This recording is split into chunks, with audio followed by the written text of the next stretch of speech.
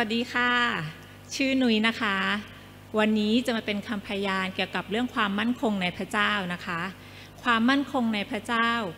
ก็คือการที่นุ้ยได้ตระหนัก รับรู้แล้วก็เข้าใจ ถึงการงานที่เสร็จแล้วบนไม้กางเขนขององค์พระเยซูคริสต์นะคะ และนุ้ยก็เชื่อว่าสิ่งนั้นเนี่ยทำให้นุ้ยอะได้รับสิ่งที่ ดีรอบตัวนะคะ ไม่ว่าจะเป็นสุขภาพที่ดี การงานที่ดี แล้วก็การเงินที่ดีทุกอย่างรอบด้านที่ดี และความเชื่อที่ถูกต้องนะคะ แล้วก็ความมั่นคงในพระเจ้า ส่งผลทำให้ความเชื่อของหนุยถูกต้องนะคะ แล้วก็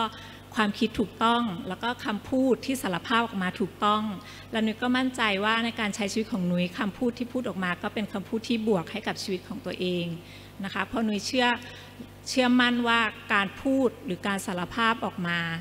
คำพูดของเรานะคะ มีสิทธิอำนาจที่จะปกครองชีวิตของเราไปในทางทิศไหนนะคะ ก็คือถ้าเราต้องการชีวิตที่ดีนะคะ เราก็พูดบวกให้กับชีวิตของเรา เราจะไม่พูดลบให้กับชีวิตของเรา เพราะว่าการที่พูดลบนั้นจะทำให้ชีวิตของเรานั้นลบไปด้วยนะคะ แล้วก็พระพรของพระเจ้าก็สามารถทำงานได้โดยการสารภาพ ถ้อยคำของพระเจ้าแล้วก็การสารภาพสิ่งที่ดีออกมาด้วยนะคะ แล้วก็ในการทำงานของนุ้ยนะคะ เวลาที่นุ้ยทำงานรีดผ้านะคะ หรือถ่ายรูปเสื้อผ้าที่จะลงขาย ครั้งละประมาณ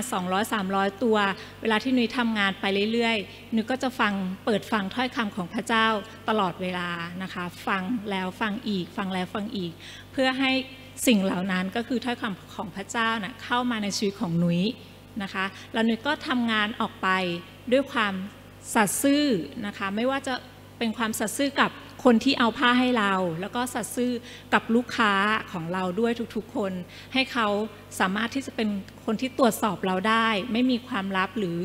สิ่งที่ไม่ดีกับลูกค้านะคะหนุ่ยก็สัตย์ซื่อกับทุกๆคน แล้วก็หนุ่ยให้ออกไปด้วยใจกว้างขวางตามที่พระเจ้าบอกให้เราให้ แล้วก็ถวายสิบรถอย่างสัตย์ซื่อสิ่งเหล่านี้ที่หนุ้ยทำออกไป เมื่อหนุ้ยมองย้อนไปประมาณ 3-4 ปีที่แล้ว เมื่อมองย้อนกลับไปทำให้นุ้ยเห็นถึง การงานที่เกิดผลอย่างมากมาย แล้วก็ก้าวกระโดดแบบอัศจรรย์นะคะ ซึ่งนุ้ยมองย้อนไปแล้วนุ้ยไม่สามารถทำได้เองเลยนะคะเป็นพอพระเจ้าอวยพรเราแล้วก็ดูแลเรา สิ่งเหล่านี้เนี่ยทำให้นุ้ยตระหนักได้ว่าการที่นุ้ยมีความมั่นคง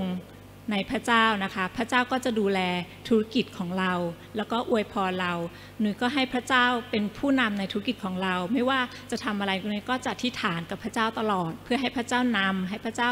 นำทางเราไปในทางที่ถูกต้องหนูก็เชื่อในความสามารถของพระเจ้า ที่พระเจ้าเนี่ยจะทำให้ชีวิตของเราเนี่ยผ่านไปได้ด้วยดี แล้วก็ประสบความสำเร็จ แล้วก็ชีวิตของหนูก็เป็นชีวิตที่เรียบง่าย ผ่อนคลาย แล้วก็เป็นอิสระ เพราะว่านุ้ยเชื่อในความมั่นคงของพระเจ้าที่พระองค์ทรงทำสำเร็จแล้วบนไม้กางเขนนะคะ แล้วก็ความสามารถของพระเจ้าที่สามารถทำได้ทุกๆสิ่งนะคะ และมีอีกเรื่องหนึ่งนะคะที่นุ้ยอยากเป็นคำพยานเมื่อเดือนที่แล้วนะคะ ได้มีใบแจ้งหนี้มานะคะ ซึ่งก็เป็นหนี้จำนวนประมาณ 50,000 กว่าบาทนะคะ ซึ่ง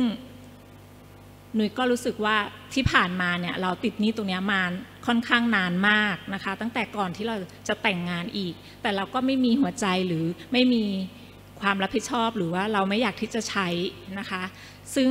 ตรงนี้เนี่ยเป็นสิ่งที่ไม่ถูกต้องในทางของพระเจ้าเลย ซึ่งใบแจ้งนี้เนี่ย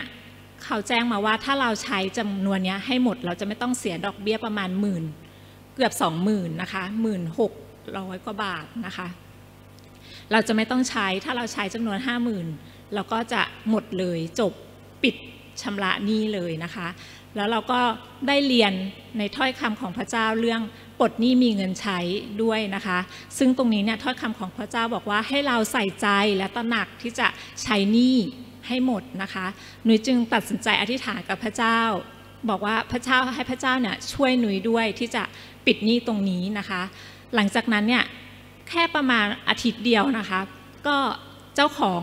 โกดังเนี่ยก็ได้เราได้มีโอกาสที่จะได้เข้าไปในโกดังใหม่อีกประมาณ 2-3 ที่นะคะ ซึ่งมีผ้าให้กับเราจำนวนมากเลยนะคะ ที่จะเอามาขายแล้วก็เป็นหัวผ้าที่ดีที่สุดนะคะ ซึ่งทำให้เราสามารถประมาณ 2 อาทิตย์ประมาณ 50,000 บาท แล้วก็ปิดหนี้ได้ครบเต็มจำนวนนะคะ ก็พระเจ้ามีหนทางแล้วก็พระเจ้าเปิดโอกาสให้เราให้เรา ปลดนี้มีเงินใช้ก็ขอบคุณพระเจ้าด้วยค่ะ ก็สุดท้ายนี้นะคะอยากหนุนใจพี่น้องนะคะ ให้เราตระหนักแล้วก็รับรู้แล้วก็เข้าใจถึงการงานที่เสร็จแล้วบนไม้กางเขนขององค์พระเยซูคริสต์นะคะ ว่าพระองค์ทรงทำอะไรแล้วไปแล้วบนไม้กางเขนนะคะ เพื่อเรานะคะ แล้วก็ให้เราเชื่อในความสามารถขององค์พระเยซูคริสต์ชีวิตของเราก็จะอิสระผ่อนคลายนะคะ ก็ขอบคุณพระเจ้าค่ะ